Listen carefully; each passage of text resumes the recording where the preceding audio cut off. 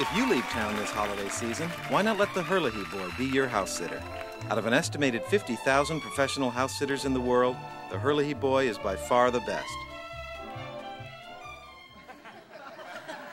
Hello. Let me water your plants. Please, while you're gone, let me water your plants.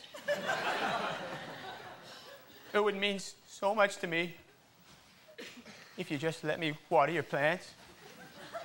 Come on, you're not going to be there. Somebody's got to water them. Why, why can't it be me? Please? Hey, hey. Please? Let me water your plants. Come on, let the boy water your plants. I...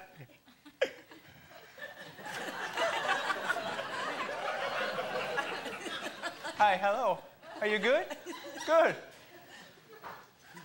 Let me bring in your mail. While you're gone. Come on, please. Let me bring in your mail. There'll be so much mail in your mailbox while you're away. Let me bring the mail in the house for you. Come on, I'm, I'm already going to be watering your plants. Just say yes to me bringing in your mail, please. Don't look away. Look at me.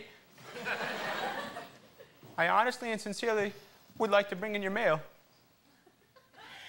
He's a good, hard-working boy. Let him bring in your mail. It. Uh...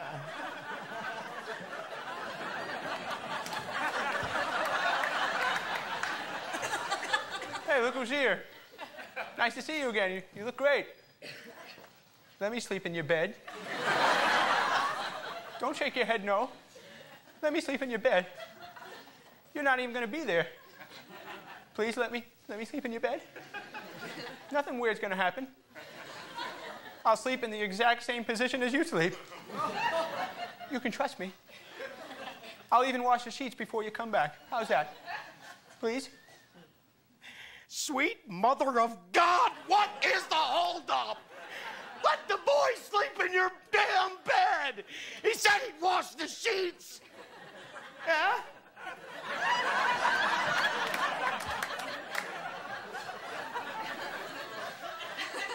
Please don't make me wash the sheets. He's a clean boy.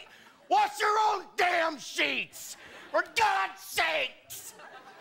Is it?